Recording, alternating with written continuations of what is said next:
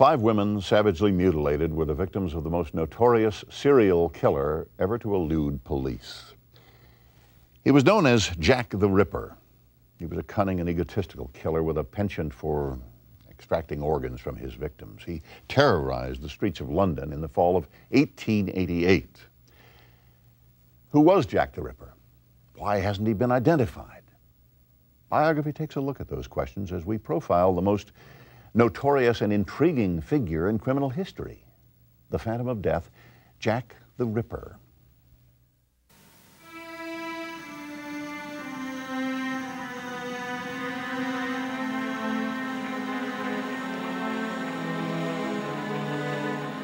My knife's so nice and sharp, I want to get to work right away if I get the chance. Good luck, yours truly, Jack the Ripper.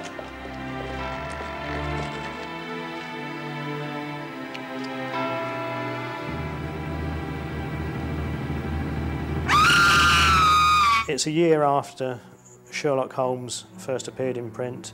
You've got the Victorian gaslit streets of London. You've also got the appeal of the name, Jack the Ripper. The murders became famous. Once the name Jack the Ripper had been invented, they became a total sensation. It was not enough only that the woman should be killed, but also should be mutilated. Uh, be sure about that every part of the body should be uh, should be hacked together. They were the first sexual serial murders to occur in a major town, a leading capital city, and they were the first to achieve international publicity. In the history of American crime.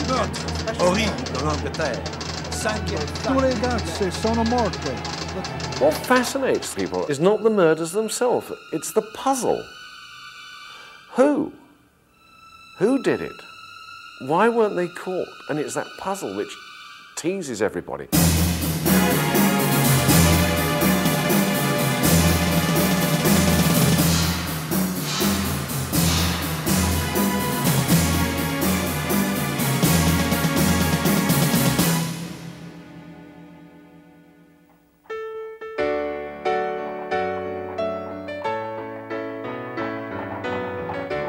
London, England, the West End, city of commerce, culture, and high fashion. A society of wealthy gentlemen in top hats and cutaways. Their wives, gentle ladies. Their children, tended by nannies. Queen Victoria reigns supreme. In contrast, the East End, where 900,000 impoverished people lived in cramped, filthy slums, and entire families were homeless. Whitechapel, the most destitute area of all, is where the murders took place. This outcast community was ignored and reviled by Victorian London. The East End, having become a dirty, rundown industrial district, now, in a time of economic depression at the end of the 1880s, was an area of overcrowding, misery and unemployment, and an area where at any time almost any woman might have to prostitute herself as the only way to feed her children. I've talked to person after person from the East End today who said, yes, they always reckoned Grandma had to go out on the streets when time was bad, and nobody thought any of the worse of her for it. The life of these women, one tends to sometimes forget, is just how brutal and how harsh it was. You could buy one of these women for three pennies, or two pennies, or a loaf of stale bread. The price of three pennies was fixed because that was what the women would pay for a large glass of gin.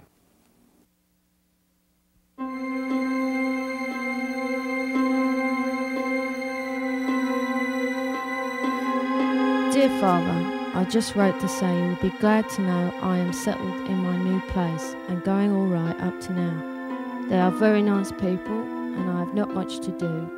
I hope you are all right and the boy has work. So goodbye now for the present. Yours truly, Polly. Answer soon, please. And uh, Let me know how you are. Polly Nichols was murdered on the 31st of August 1888. And on that particular day, she'd had three customers.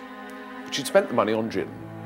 So when she turned up at the lodging house to get a bed for the night, not only was she drunk, but she didn't have any money for a bed. But she felt pretty confident about getting a fourth customer because she thought she looked particularly attractive.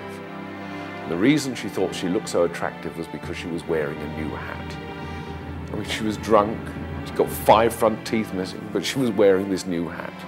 And the last words of the lodging house keeper were, See what a jolly bonnet I'm wearing. August the 31st, 1888 was the first Ripper murder.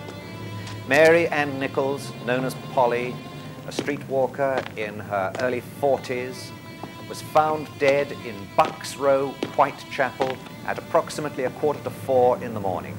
She had been dead approximately 20 minutes when she was found, and in the mortuary they discovered that not only had her throat been cut, but there was a great gash in her abdomen.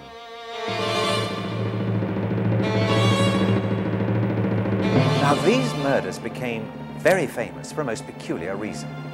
The very first elections to the London County Council were taking place, and the radicals, the extreme leftists, thought they had a very good chance of winning the East End.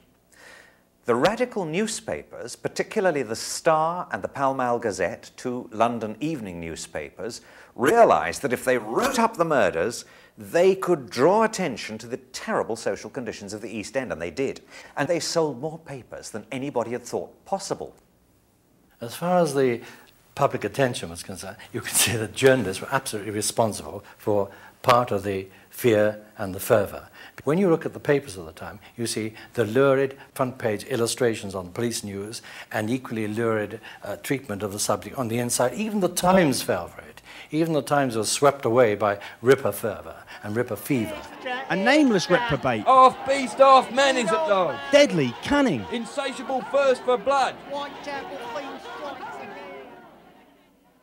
If you could take my unit and I back to 1888 to the crime scene, uh, I would suggest that we focus in on the first homicide. Generally, the first homicide is the focal point, is the area where the subject feels the most comfortable.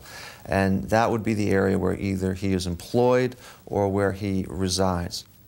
I believe the subject would go back to the scene, go back there and kind of hang around there and fantasize and relive the crime. You can have situations where the murderer's standing here, the victim's lying there, the murderer's covered in the victim's blood, he's left his fingerprints and handprints all over the murder scene.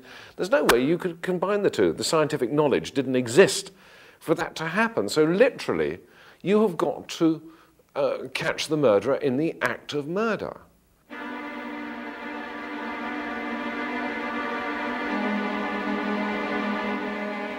On the 8th of September 1888, at 10 to 6 in the morning, the second victim was found.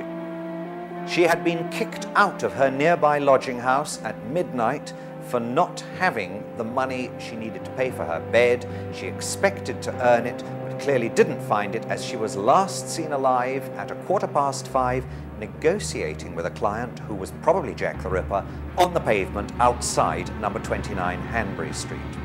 Her throat had been cut, she had been savagely mutilated, disemboweled, and her uterus taken away. If ever the Ripper was going to be caught, it was, it was then. Because they're out in the backyard, and a man in the next door house comes down to the yard, obviously, to relieve himself, because this is what the yards were used for. And he's standing there, and he hears something fall against the fence, and a woman's voice say, No. Now, the fence is only five foot high. All he's got to do is look over the fence and he would have seen Chapman with her killer, with the Ripper. In these extraordinarily difficult cases where a roaming sexual killer attacks people he doesn't know, so you can't follow up people's associates. If he attacks prostitutes, he's attacking women who automatically go off to dark corners with half a dozen strange men every day. How on earth are you going to find which one is doing the killing? I think by Victorian standards, the investigation into the series of Whitechapel murders was conducted as well as possibly they could manage in those days. They put extra manpower on the streets.